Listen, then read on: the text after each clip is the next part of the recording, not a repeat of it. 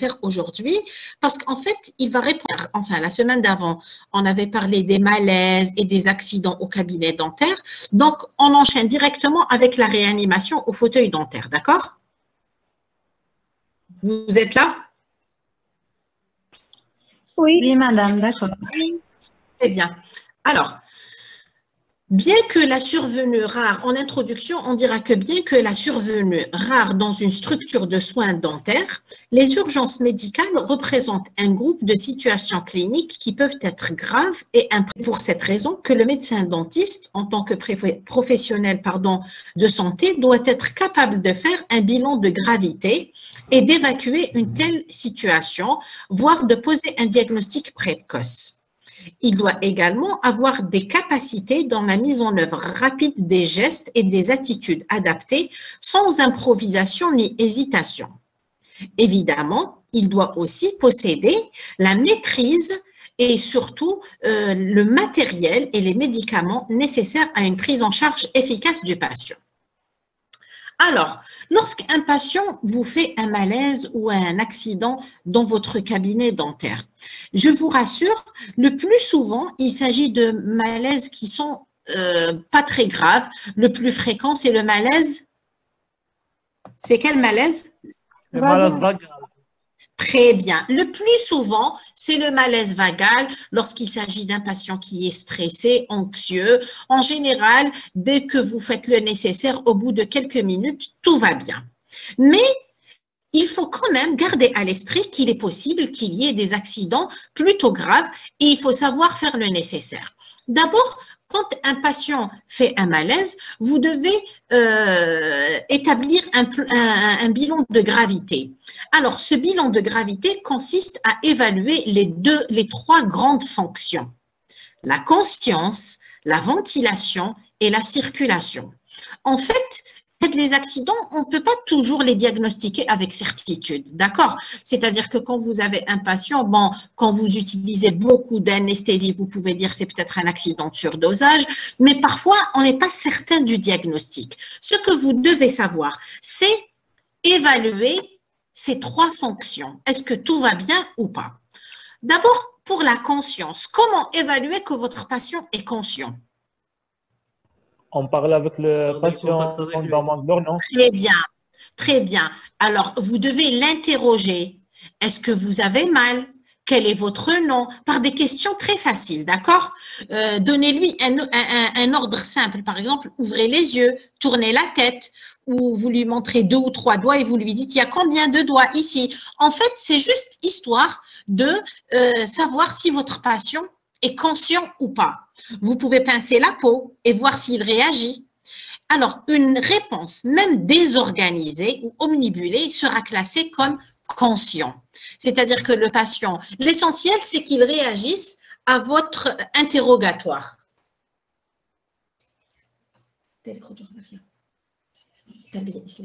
Pardon. La suspicion d'une perte de conscience doit entraîner sans délai un deuxième interrogatoire. Alors, parce que parfois le patient est un peu omnubilé, vous pouvez euh, poser des questions, il ne répond pas, surtout euh, quand il s'agit d'un patient qui est très stressé, il faut insister et parfois répéter la même question plusieurs fois. Ensuite, vous allez évaluer la ventilation, c'est-à-dire est-ce que mon patient respire? D'accord? Pour analyser la respiration du patient, le témoin va positionner la tête, euh, va positionner sa tête au-dessus de la tête de la victime en cherchant à entendre sa respiration, à voir si l'abdomen se soulève et à sentir un souffle sur sa propre joue. C'est-à-dire que vous mettez votre joue contre la bouche du patient pour sentir s'il y a de l'air qui sort de sa bouche. Cette analyse doit durer 10 secondes. Si aucun mouvement respiratoire n'est détecté pendant ce délai, on considère qu'il existe une, une, inefficacité respiratoire. Alors, il est nécessaire d'avertir le SAMU. Alors, pour évaluer, donc on a dit conscience, ventilation, circulation. Pour évaluer la circulation, il faut chercher le pouls euh, central ou bien pouls euh, fémoral. En fait, c'est le pouls fémoral ou carotidien. Mais en général, on se fie au pouls carotidien. D'accord? La recherche du pouls se fera au niveau carotidien. Et il ne doit pas dépasser 6 secondes. Si le pouls est présent, cela veut dire qu'il y a seulement une apnée.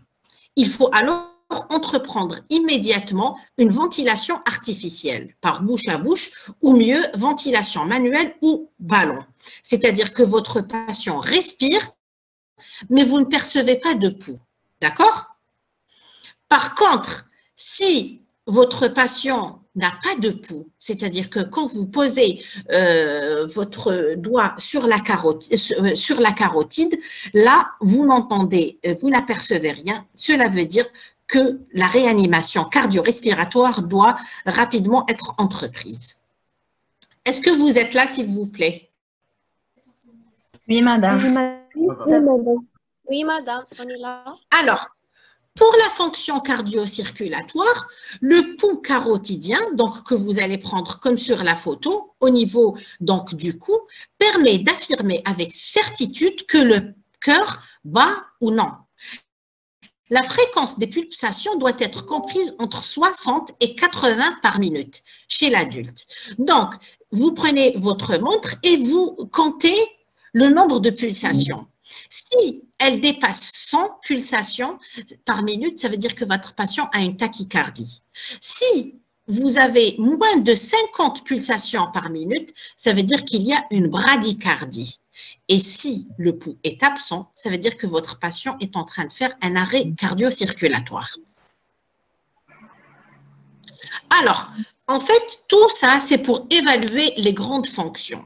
Je vous rassure encore une fois, ce sont des situations exceptionnelles. En général, vous avez la conscience, euh, vous avez euh, votre patient, donc chez vous percevez tous les réflexes, aussi bien respiratoires, vous avez votre pouls, ne vous inquiétez pas. Mais on ne sait jamais, il faut connaître les gestes d'urgence en attendant l'arrivée du réanimateur ou l'arrivée du SAMU. Et vous devez avoir dans votre cabinet tout le matériel d'urgence indispensable au cabinet dentaire. Dans votre trousse, il n'existe pas de liste précise que vous allez euh, mettre dans votre trousse d'urgence. Donc, le contenu de cette trousse ne peut pas être précis à 100%. Toutefois, il est établi une liste qui est non, exhaustive, c'est-à-dire que ces éléments doivent exister dans votre trousse. Des corticoïdes donc, euh, que vous allez euh, pouvoir injecter dans l'urgence. Donc, ce sont des anti-inflammatoires stéroïdiens, des bronchodilatateurs, par exemple de la ventoline, qui peut être éventuellement euh, préconisé chez un patient asthmatique. Un tonique cardiaque type atropine, si par exemple chez le patient vous, ne percevez plus de pouls, ça veut dire qu'il est en arrêt cardio-respiratoire. Là, il faut donner un tonique cardiaque. Donc, vous devez l'avoir dans votre trousse. Un antihypertenseur, éventuellement chez un patient qui fait un pic hypertensif dans votre cabinet. Un anticonvulsivant en cas de crise convulsive, tel que le Valium. Un hyperglycémiant chez un patient diabétique qui vous fait Alors, je vous disais, le glucagon, c'est l'inverse de l'insuline. Un patient diabétique, on lui donne de l'insuline, a qu'on est d'accord, pour faire baisser le taux de sucre dans le sang. Le glucagon, il a un effet inverse. Pourquoi? Parce que le patient diabétique, parfois, s'il n'a pas bien mangé, s'il est très anxieux, il peut vous faire un choc hypoglycémique. Et ce choc hypoglycémique peut tuer le patient. D'accord? Donc, il faut toujours, si votre patient fait un choc hypoglycémique, bon, d'abord, commence par tenter un, resucrage avec du, vous, pouvez prendre la glycémie capillaire avec son petit appareil. Si vous voyez que la, la, glycémie est vraiment très basse, il faut rapidement faire une injection de glucagon. Elle va faire monter très rapidement la glycémie d'un coup. D'accord? Vous devez aussi posséder dans votre trousse des seringues de 2,5 et 10 millilitres et des aiguilles de différents calibres. Des dosettes de 10 millilitres de sérum physiologique, un tensiomètre, donc de préférence un appareil de mesure automatisé, et bien sûr un lecteur de glycémie. Tout ça, c'est euh, le contenu de votre trousse. L'idéal, ce serait aussi... Oui? Bah, L'hyperglycémie, il est injecté ou euh, par voie Oui, oui, oui, bien sûr, oui. C'est en injectable. C'est pour ça, c'est le glucagon, c'est un traitement d'urgence. Et tous les traitements d'urgence sont administrés par voie euh, injectable. D'accord? Parce que si vous le donnez par voie orale, bon, d'abord, il n'existe pas, je pense, par voie orale. Il n'existe que par voie euh, injectable. Pourquoi? Parce que c'est un médicament dans le cadre de l'urgence. Et dans ce cas, il va agir beaucoup plus rapidement. Parce que quand tu prends un médicament par voie orale, le temps qu'il soit absorbé et tout, il va mettre plus de temps pour agir. D'accord? Alors, le matériel de ventilation. Si par exemple, tu vois que ton patient ne respire pas, il faut avoir un, l'idéal, c'est d'avoir un ballon autoremplisseur à valve unidirectionnelle.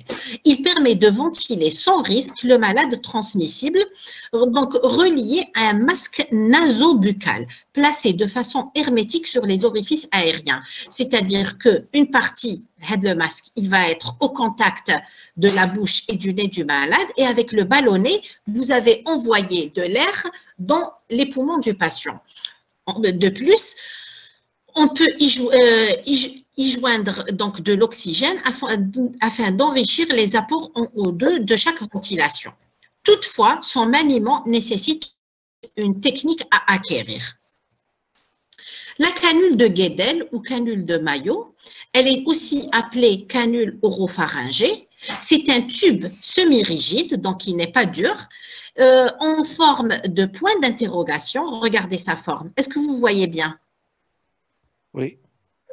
Alors, il a la forme d'un point d'interrogation utilisé pour maintenir ouvertes les voies aériennes d'un patient pour empêcher l'affaissement de la langue contre le pharynx. Parce qu'est-ce qui va se produire?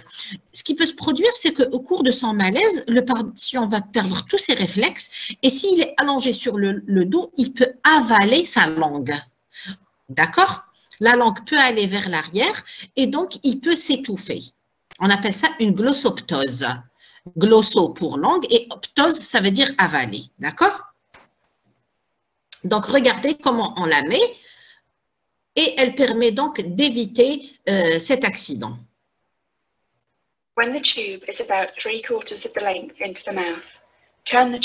Regardez comment elle plaque la langue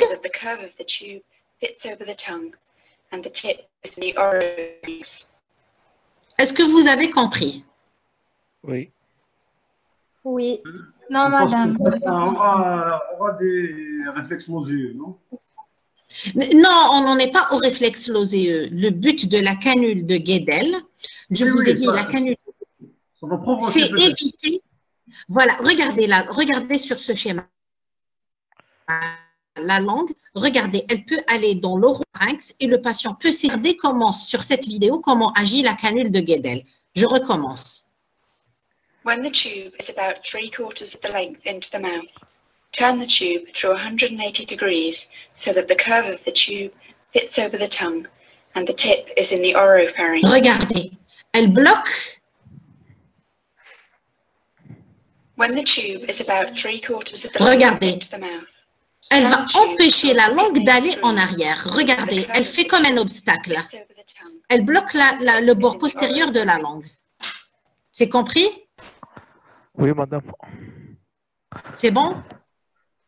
Madame, pour le monsieur qui a dit le réflexe euh, nauséeux, le malade, il est inconscient, alors il n'y avait pas un réflexe nauséeux. C'est juste pour moi. écoutez, le patient se met à vomir, mais euh, en général, quand il fait un choc hypoglycémique, d'accord? Il y a des vomissements en général, mais quand on arrive à ce stade où on place une canule de Guedel, là, ça n'a les vomissements, le patient est inconscient. D'accord C'est quand, il, quand il est inconscient qu'il n'a plus ses réflexes et qu'il il est complètement hypotonique, donc il risque d'avaler sa langue. D'accord? Voilà. La demoiselle qui avait dit qu'elle n'avait pas bien compris, est-ce que c'est saisi? Oui, c'est bon, merci madame. Allez, on continue. Quels sont les gestes qui sauvent? Écoutez, euh, je ne vais pas vous dire à chaque fois que vous avez un malaise ou un accident dans votre cabinet, vous devez absolument le diagnostiquer. D'accord Parce que nous-mêmes, en général, euh, vous allez constater l'année prochaine, Inch'Allah, quand vous allez commencer à travailler, que parfois les patients font des malaises euh, dans la salle d'exo. Le plus souvent, je vous ai dit, soit des petites hypoglycémies ou des petits malaises vagos, mais parfois, il nous arrive d'évacuer un patient au PU sans qu'on connaisse, euh, sans qu'on ait fait le diagnostic avant que le patient soit évacué au au PU, d'accord? C'est-à-dire qu'il y a certaines situations où on ne peut pas faire exactement le diagnostic de certitude, d'accord? Bon, à la limite, euh, une convulsion, elle est évidente. Je vous ai expliqué ces symptômes. Le malaise vagal, euh, quoi d'autre? L'hypoglycémie. Mais euh, dire que mon patient est parfaitement ventilé ou la, je sais pas moi, aller dans le détail, parfois ce n'est pas toujours évident. Contre, ce que vous sentez qui sauve, quel que soit le diagnostic. Vous devez savoir quoi faire en attendant que l'équipe euh, qui va euh, donc réanimer le patient euh, arrive. D'accord? Alors, les gestes qui sauvent sont, vous devez savoir libérer les voies aériennes supérieures, de sécurité, la réanimation cardio-respiratoire et la technique des riches libérer les voies aériennes. En fait, dès que vous commencez à sentir que votre patient fait un malaise, est-ce que vous êtes là? Oui. Il faut tout de suite retirer ce qu'il y a dans la bouche. Tout de suite. Parce que parfois, il vous fait un petit malaise vagal, mais il va comprendre ce que vous avez laisser dans la bouche. D'accord? Il faut tout de suite retirer de la cavité buccale tout corps étranger. Aspirer les mucosités, le sang, parce qu'il peut faire une fausse route avec le contenu de la cavité buccale.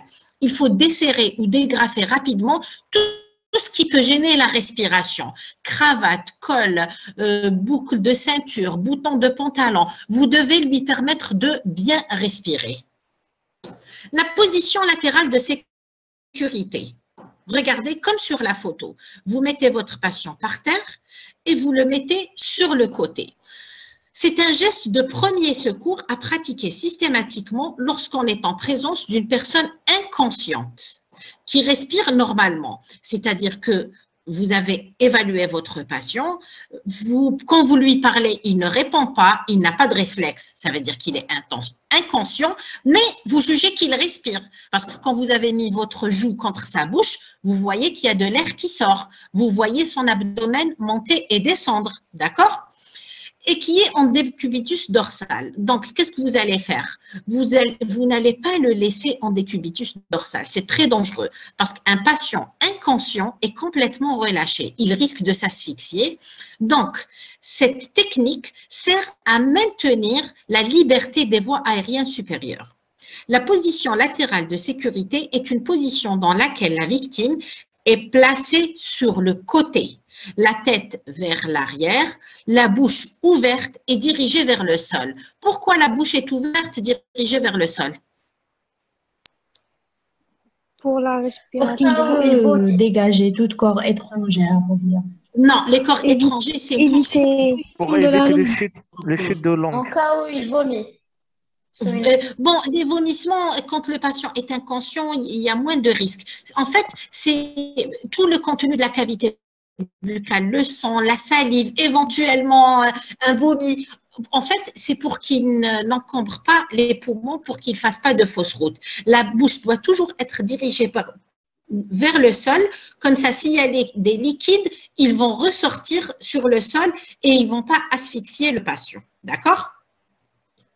Alors, le geste essentiel à connaître, quel que soit le malaise, quel que soit le symptôme que fait votre patient, il ne faut jamais laisser sur le dos une victime inconsciente qui respire. Toujours, si mon patient est inconscient, je le mets sur le côté. Alors, comment faire la réanimation cardiovasculaire? Mon patient ne respire pas. Alors, nous avons la réanimation respiratoire et la réanimation cardiaque par le massage externe. Quand est-ce qu'on opte pour la réanimation euh, respiratoire? Malade qui ne, inconscient qui ne respire pas. Qui ne respire pas. D'accord? Et quand est-ce, euh, comment on se rend compte qu'il ne respire pas? Placer la clé contre la bouche du patient. Très bien. Et ne pas voir son abdomen monter et descendre, son, sa cage thoracique monter et descendre. Et quand est-ce qu'on pratique, à votre avis, la réanimation cardiaque par massage cardiaque? En cas d'arrêt cardiaque. Lorsqu'on sent pas le pouls. Arrêt cardiaque. Lorsqu'on sent pas le pouls, ça veut dire que patient est voilà. Là, on, on passe à la réanimation cardiaque par massage externe. La réanimation respiratoire, c'est la technique de ventilation artificielle qui peut être orale ou instrumentale. Alors, on peut faire cette ventilation si on n'a pas de matériel. On fait la ventilation en procurant de l'air à notre patient par le bouche à bouche. Tout en maintenant la bascule de la tête, on, euh, vous allez boucher le nez de la victime, appliquer votre bouche au contact direct avec la bouche du patient pour éviter les fuites et insuffler l'air, c'est-à-dire que vous allez envoyer l'air qu'il y a dans vos poumons lentement dans la bouche du patient. Mais attention, juste une seconde. D'accord? Mais si vous avez deux minutes. Mais si vous avez un ballon, auto-remplisseur à, valve pardon, unidirectionnelle que je vous ai montré tout à l'heure, c'est plus intéressant. Mais là, encore une fois, ça, demande quand même une maîtrise. Euh, et là, je pense que dans votre cursus, vous avez un stage de réanimation. Peut-être que vous allez apprendre à acquérir ces gestes. Oui, mademoiselle. Euh, bon, quand on lui fait la respiration, euh, il n'y euh, a pas un risque qu'il avale sa langue? Pardon? dans cette position. Il n'y a pas un risque qu'il avale? Vous êtes, vous êtes obligé de le faire. Hmm. Dans tous les cas, si votre patient ne respire pas, de toute façon, il meurt. C'est Ça. qu'il avale sa langue ou là, il ne respire pas du tout, c'est kiff kiff. Tu peux, euh, tu peux faire euh, la respiration buccale, donc euh, orale, ensuite le remettre sur le côté, par exemple. Tu- ça te permet au moins de le maintenir en vie, mais entre-temps, toi, tu appelles le service des urgences. D'accord? Hadi, c'est une solution juste le temps que l'équipe spécialisée arrive. D'accord? Tout ce que je suis en train de vous décrire, si le patient ne respire pas, vous ne percevez pas le pouls, on n'attend pas de vous de le réanimer. On, on attend de vous d'assurer le maintien de la vie du patient en attendant l'arrivée des secours. D'accord? D'accord, merci. De rien. Le massage cardiaque externe. Alors, il doit se faire sur un plan dur. Dans la pratique, la victime est mise au sol. On se positionne à genoux auprès de la victime. On positionne le talon de la main dominante au centre du sternum. C'est-à-dire que si vous avez, vous êtes droitier, hawlik le sternum au centre du sternum. D'accord Euh, Vous savez c'est quoi le talon de la main? Oui. Alors, c'est la paume de la main, c'est le bord postérieur. C'est comme le pied, c'est le talon de la main. Donc, tu vas poser le talon de ta main dominante au centre du sternum. L'autre main est placée au-dessus de la première, l'une sur l'autre, comme sur la photo. D'accord? Ensuite, qu'est-ce qu'on va faire? On va faire une compression thoracique avec les bras tendus et perpendiculaires à la victime, comme vous voyez sur cette photo une dépression euh, sternale pardon, de 4 à 6 centi- euh, 5 cm est recherchée. C'est-à-dire qu'on va rechercher que mon sternum soit abaissé de 4 à 5 cm. La fréquence établie est d'environ 10 compressions par minute. Euh, pardon, 100 compressions par minute. C'est un geste plutôt rapide. En fait, comment on fait? Ça, si j'entends pas mon pouls, mais vous allez me dire, euh, j'allais dire maman, madame, si, les- si mon patient, à la fois, il ne respire pas et il n'a pas de pouls, qu'est-ce qu'on va faire? On va alterner. Est-ce que vous m'entendez? Oui. C'est-à-dire qu'on va alterner entre la réanimation cardiaque, on fait deux séries de 15, puis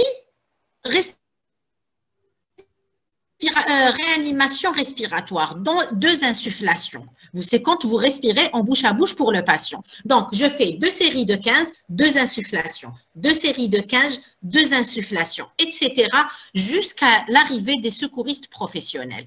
Voilà, c'est ça le talon de la main. 15, c'est compression. Pardon? 15, c'est 15 Oui, compressions. 15 euh, compressions, oui. Vous faites deux séries de 15, puis deux insufflations. Et on s'arrête entre les deux. Pardon? On s'arrête entre les deux. Euh, mais pour faire deux insufflations. Ensuite, on continue et on enchaîne comme ça jusqu'à l'arrivée des secouristes. C'est-à-dire que vous allez stimuler la fonction euh, respiratoire et la fonction cardiaque en attendant que le patient soit confié à une équipe spécialisée.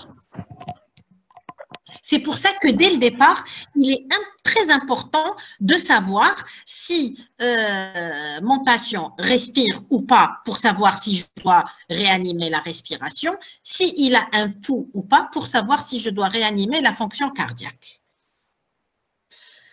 Alors, en résumé, mon patient est une victime inconsciente. Qu'est-ce que je fais? Le schéma, il est très beau. La première chose à faire, j'appelle de l'aide. Ensuite, je libère, enfin moi je dirais, je libère d'abord les voies aériennes, d'accord? Si vous avez euh, une compresse, un coton dans la bouche, c'est le premier réflexe. Je vous, dès que le patient vous dit j'ai un vertige, vous ne le voyez pas lire, vous retirez tout ce qu'il y a dans la bouche. Vous appelez le SAMU.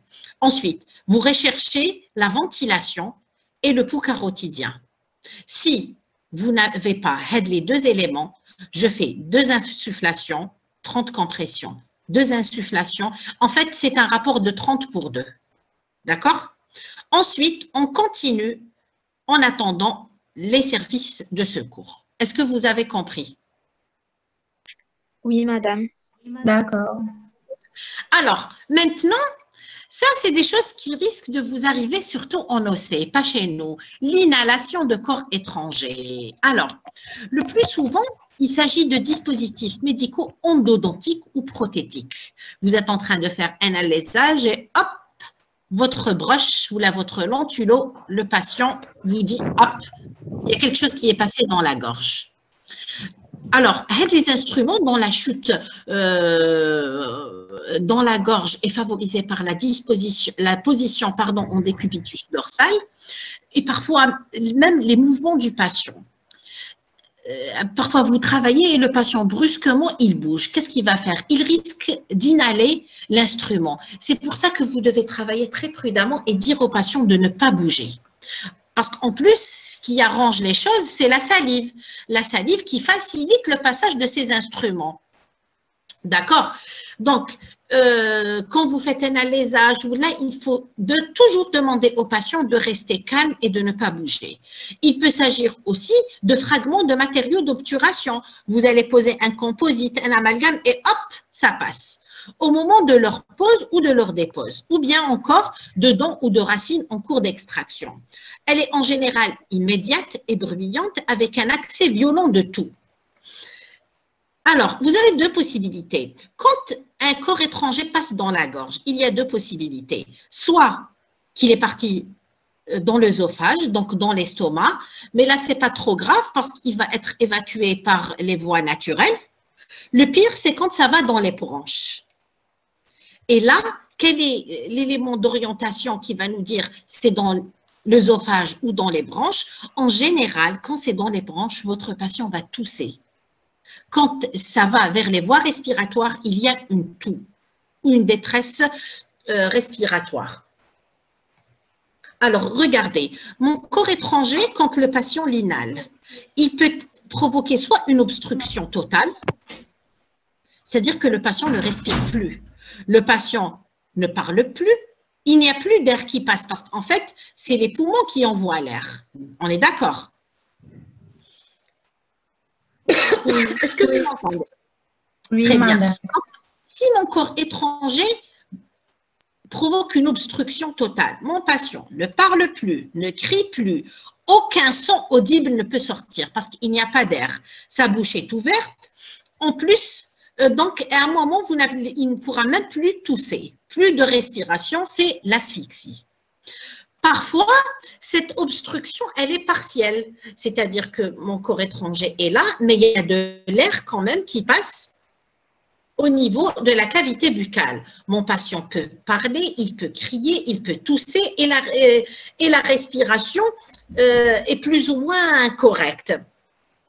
Et le patient est conscient. Pourquoi? Parce qu'il y a une respiration. Oui. Oui, Pardon, tu demandes à papa. Alors, qu'est-ce qu'on va faire?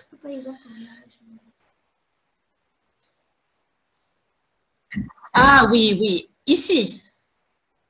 Eh bien sûr qu'ils sont. Et si ton patient ne parle pas, même ici, il va le sentir parce qu'il sent qu'il ne respire pas très bien. Et le premier réflexe en général, le patient ramène sa main vers sa bouche, comme s'il voulait retirer quelque chose. Alors, l'obstruction des voies aériennes. Je vous ai dit, l'obstruction, elle peut être partielle. Et là, la toux peut être efficace. Il faut encourager votre patient à tousser. Parce qu'avec la toux, parfois, il peut, faire sortir le corps étranger. Il faut le rassurer, le mettre en position assise ou semi-assise. Il faut aider la victime à respirer efficacement, alerter les secours et surveiller les fonctions vitales. Par contre, si l'obstruction est complète, alerter les secours, tenter de désobturer, en essayant de demander au patient de tousser, même si la toux n'est en général pas efficace, pencher la victime en avant et donner cinq tapes dans le dos, entre les omoplates, avec le plat de la main. En absence d'efficacité des tapes, on peut faire une compression, ce qu'on appelle, je vais vous l'expliquer tout à l'heure, la technique d'Emlich. C'est-à-dire que quand ton patient une obstruction, pour toi, elle est totale parce qu'il ne parle plus, il ne respire plus, il ne crie plus, il faut tout de suite taper dans le dos. On fait cinq tapes. Pourquoi? En fait, en faisant cinq tapes, on peut bouger le corps étranger. Ça ne veut pas dire que l'obstruction va partir, mais euh, elle peut devenir partielle. D'accord? D'accord. Alors, parmi les différentes manières d'expulser un corps étranger, nous avons la toux. Donc, il faut euh, demander aux patients de, tenter de tousser, sinon la percussion dorsale, comme font nos mamans et nos, euh, comme on le fait dans quelqu'un, comme on dit en arabe, qui on lui donne une petite tape dans le dos, n'est-ce pas? Hum c'est la même chose. Donc, cette percussion dorsale, elle permet l'expulsion du corps étranger dans 50% des cas. Elle agit en provoquant la toux par mobilisation du corps étranger. C'est-à-dire que le corps étranger, quand vous le faites bouger, ça va donner envie au patient de tousser. Et avec la toux, il peut donc expulser ce corps étranger. Elle est recommandée partout comme étant la première manœuvre lors d'une obstruction complète des voies aériennes supérieures. Donc, incliner le thorax de la victime vers l'avant, comme vous le voyez sur cette photo, va faciliter l'expulsion de l'obstacle tout en évitant sa chute. Répétez le geste jusqu'à cinq fois de suite tant qu'il n'y a pas d'expulsion. Dans le cas extrême, on procède à la manœuvre euh, d'Emlich. Alors, cette manœuvre qui est simple de réalisation et ayant un taux de succès très important, consiste à pratiquer une compression brutale épigastrique qui va entraîner une élévation du diaphragme. Cette élévation du diaphragme va provoquer un, rétrécissement d'accord de la cage thoracique.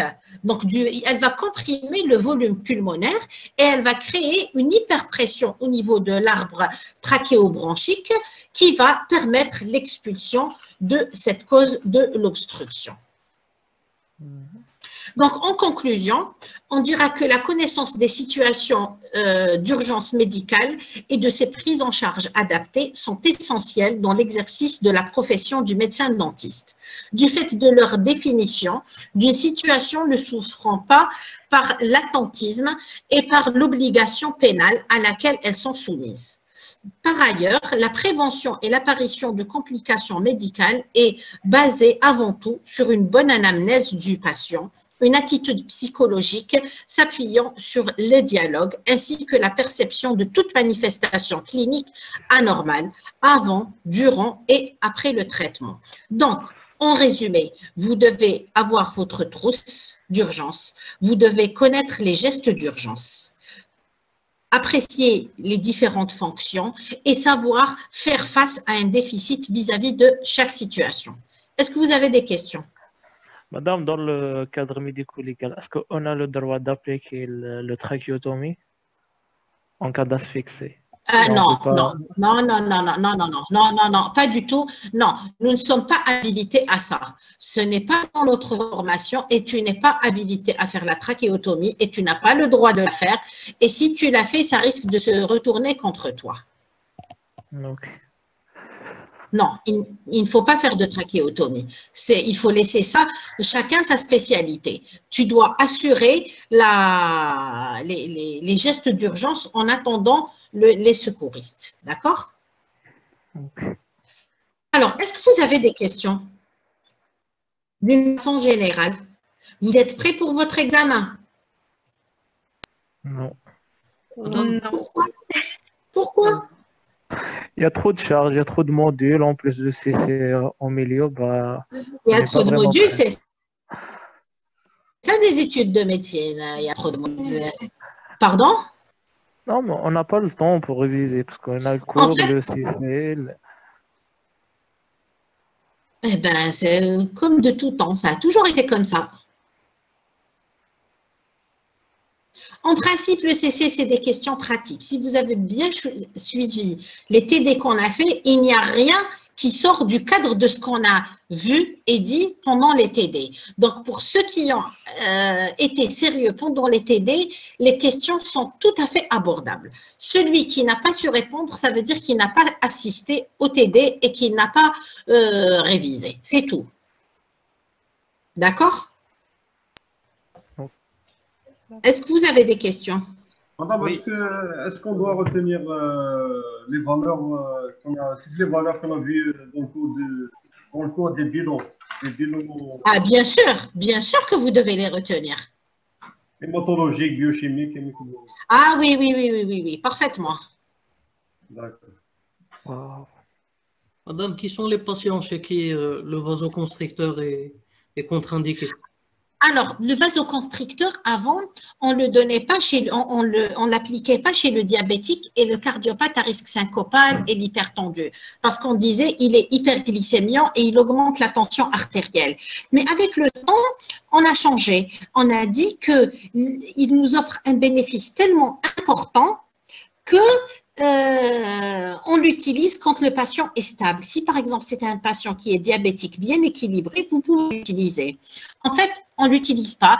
Les patients qui ont troubles du rythme cardiaque pas contrôlé, une hypertension artérielle pas contrôlée, ce sont les pathologies où il y a un risque syncopal qui n'est pas contrôlé. Mais sinon, vous pouvez l'utiliser. Merci. De rien. Madame? Oui Lors de l'extraction, les vasoconstricteurs sont à, éviter? Lors de L'extraction. Pourquoi le vasoconstricteur est, est à éviter? Pour les molaires. Il, il cause des alvéolites. Les alvéolites. euh, Attendez, attendez. Vous voulez dire que vous allez faire votre extra, vos extractions avec anesthésie non adrénalinée Sans vasoconstricteur. Ça veut dire l'anesthésie. Ça veut dire l'anesthésie. Oui, toutes les anesthésies. Non, asna, asna, on te ferme. Mais tranquille, on L'anesthésie évite. tronculaire. Ou... Attendez, attendez, voilà. Attendez, je vais faire le point. L'anesthésie tronculaire se fait avec adrénaline, euh, avec, pardon, anesthésie sans vasoconstricteur. Attention, il est formellement contre-indiqué d'utiliser le vasoconstricteur quand vous faites une anesthésie tronculaire. D'accord? Après, l'alvéolite sèche, c'est pas quand on fait une anesthésie locale. Quand on fait une anesthésie locale, vous utilisez le vasoconstricteur s'il n'y a pas de contre-indication d'ordre général. Ce qui va provoquer l'alvéolite sèche, c'est quand on fait l'intraligamentaire. D'accord? Avec euh, une anesthésie adrénalinée. C'est ça qu'on peut, c'est dans cette situation qu'on peut avoir une alvéolite sèche. Mais sinon, ton anesthésie locale, tu la fais normalement avec adrénaline. D'accord? D'accord. Par contre, j'insiste, anesthésie tronculaire, c'est toujours sans adrénaline. Même si votre patient est bien sur le plan général, il n'a aucune pathologie, pas d'adrénaline dans la- l'adrénaline, c'est le vasoconstricteur. Pas de vasoconstricteur pour l'anesthésie tronculaire. D'accord? Madame, pourquoi l'intralégamentaire en vasoconstricteur Pardon? L'intralégamentaire. Pourquoi on, on, l'a- on l'a Parce qu'elle va Oh. provoquer, parce, parce qu'elle va provoquer une vasoconstriction très importante, donc ton alvéole, il ne sera pas suffisamment bien vascularisé. C'est ce qui risque de provoquer une alvéolite sèche. D'accord? Mais attention, j'insiste et je répète, l'anesthésie locale, on l'a fait avec vasoconstricteur. Si votre, sauf s'il y a une contre-indication au vasoconstricteur, une contre-indication d'ordre général. La tronculaire, c'est sans adrénaline. D'accord?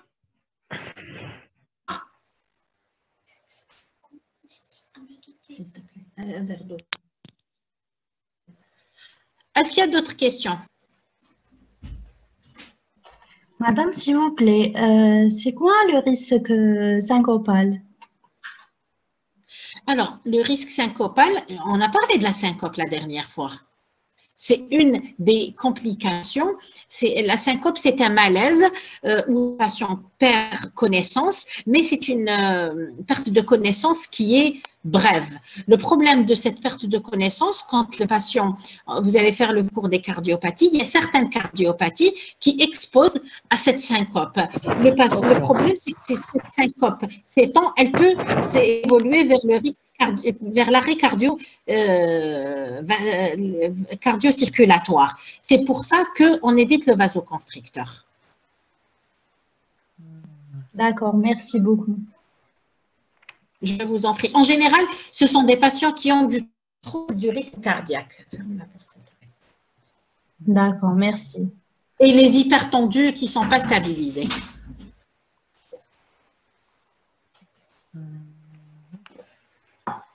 Est-ce que vous avez d'autres questions? Oui. Euh, sur Oui. une radiographie, comment, comment est-ce qu'on peut reconnaître un séquestre?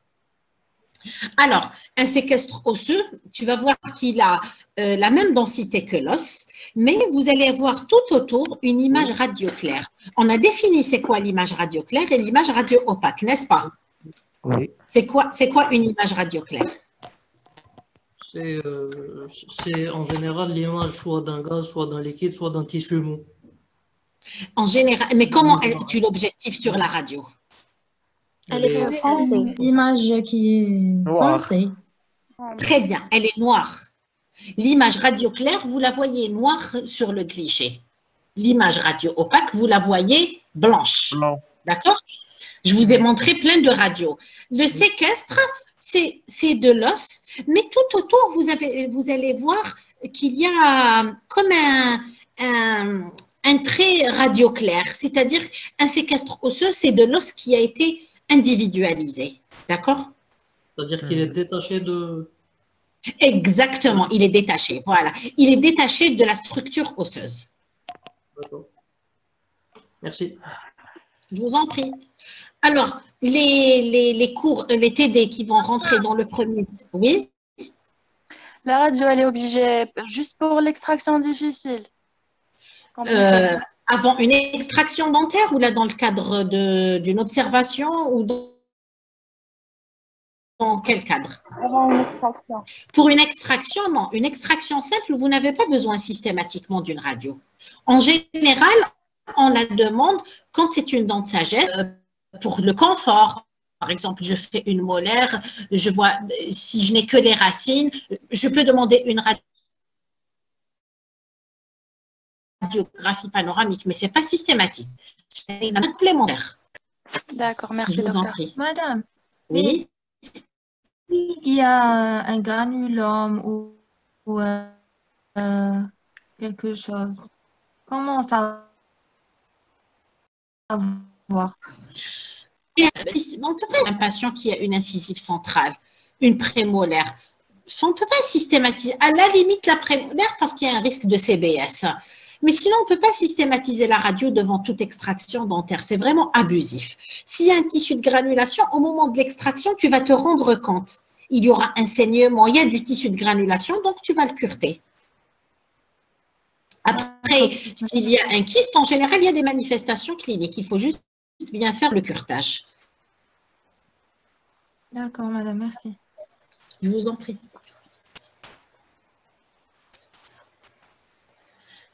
Vous n'avez plus de questions? Alors, les CC, c'est de le CC, pardon, c'est de l'observation clinique jusqu'à l'extraction simple et compliquée. D'accord? Tout ce qui vient après, ça va rentrer en compte dans le deuxième CC. Madame, alors, s'il n'y a plus de questions, je vous souhaite bon courage. madame, une question. Oui. Euh, Est-ce qu'on peut associer euh, l'alvéolectomie euh, à la séparation de racines? Bien sûr, oui. Parfois, on fait une, séparation, euh, une, une alvéolectomie pour bien dégager la ration des racines. Mais on commence d'abord par l'alvéolectomie. Je vous en prie.